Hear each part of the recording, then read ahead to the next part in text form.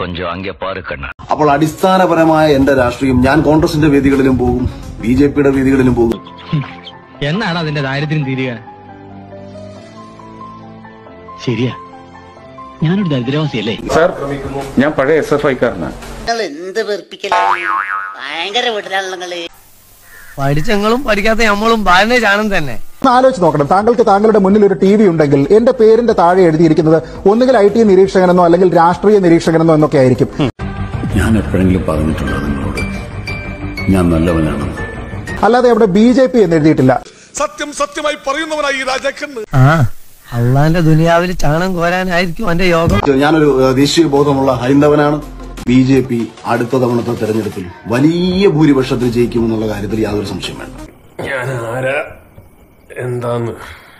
ഇപ്പൊ പിടികിട്ടിയായിരിക്കും ആ തെണ്ടി ചെറുക്കൻ നുണ പറയാനും തെറി വിളിക്കാനും മാത്രമേ വായ തുറക്കാറുള്ളൂ എന്ന് എനിക്കറിയില്ലേ? ഞാൻ വന്ന നാൾ വഴി ഇത് പരിശോധിച്ചാൽ വളരെ സത്യസന്ധമാണ്. അതിനകത്ത് ഉടനെ ഞാൻ സംഘിയാണ് എന്ന് കാണരുത് സംഘത്തിന് വേണ്ടി ഞാൻ മരിക്കും. എന്നെ എന്താണോ ചാനൽ വിശേഷിപ്പിക്കുന്നത് അത് വിശേഷിപ്പിക്കുക. ഇതൊന്നും വെളി പറയരുത് കേട്ടോ. നാണക്കേടാണ്. അല്ലെങ്കിൽ പേര് വിളിക്കുക. അത് ചാനലിൽ ചെയ്യേണ്ട ചർച്ചയിൽ ചെയ്യേണ്ട മിനിമം മാന്യതയും മര്യാദയുമാണ് അത് താങ്കൾ കാണിക്കണം.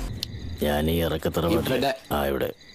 പുയ്യാപ്പിളിനു എനിക്കിവിടെ കുറച്ച് നെല്ലയും വിലയൊക്കെ ഉണ്ട് ഞാനൊരു സനാതന ധർമ്മ വിശ്വാസിയാണ് ഞാനൊരു ആര്യ ബ്രാഹ്മണ സവർണ ഹിന്ദു വലതുപക്ഷ ആക്ടിവിസ്റ്റ് ആണ് അതിൽ അഭിമാനിക്കുന്ന വ്യക്തിയാണ്. അത് നീ ഇങ്ങനെ ചൂഷണം ഈ വത്സൻ മാഷ് എന്നോട് തിരിച്ചു പറഞ്ഞത് അഖിൽ ഒരിക്കലും ബി ജെ പിയിലേക്ക് വരരുത് എന്നാണ്. സോറി ഒരു ഗ്യാപ്പ് കണ്ടപ്പോ ഗോൾഡിക്കാൻ നോക്കിയതാ. അഖിലിനെ പോലൊരു ചെറുപ്പക്കാരൻ ഇപ്പോൾ എങ്ങനെ നിൽക്കുന്നു അങ്ങനെ തന്നെ തുടരുക എന്നാണ് സത്യത്തിൽ അദ്ദേഹം പോലും എന്നോട് പറഞ്ഞു തന്നു നീ.